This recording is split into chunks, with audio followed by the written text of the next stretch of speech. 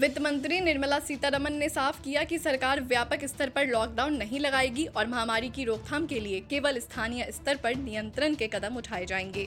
देश में corona virus के बढ़ते मामले के बीच उन्होंने ये बात कही। विश्व बैंक समूह के अध्यक्ष डेविड मालपास के साथ ऑनलाइन बैठक में सीतारमन ने भारत को विकास के लिए और अधिक कर्ज सुविधा की गुंजाइश बढ़ाने के लिए विश्व बैंक की पहल की सराहना की।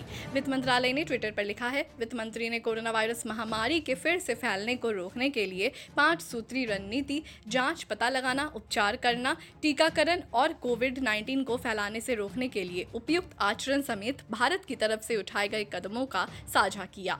उन्होंने कहा, दूसरी बार संक्रमण के तेज़ी से फैलने के बावजूद हमारा ये स्पष्ट रुख है कि हम व्यापक स्तर पर लॉकडाउन लगाने नहीं जा रहे हैं। हम पूर्ण रूप से अर्थव्यवस्था को ठप नहीं करना चाहते। स्थानीय स्तर पर कोविड मरीजों या परिवार को अलग रखने के उपाय किए जाएँगे। स्थानीय स्तर पर नियंत्रण के उपायों के ज़रिए संकट से निपटा जाएगा।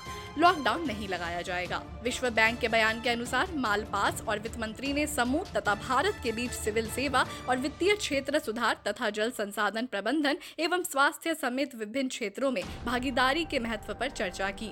दोनों ने भारत में कोविड 19 से निपटने के लिए उठाए जा रहे कदमों के साथ घरेलू टीका उत्पादन क्षमता पर चर्चा की।